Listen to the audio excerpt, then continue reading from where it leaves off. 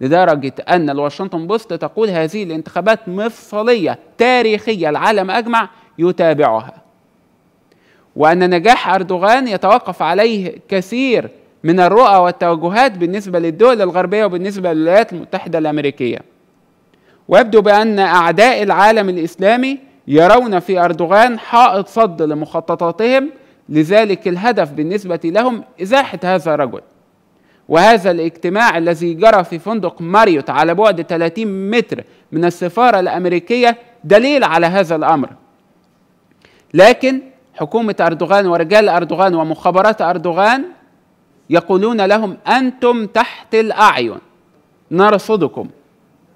لذلك بالفعل كانت فضيحة حينما تتحدث الصحافة التركية عن وجود موظفين من السفارة الأمريكية في أنقرة في هذا الاجتماع الذي ضم كليتشدار أغلو وميرالا أكشنار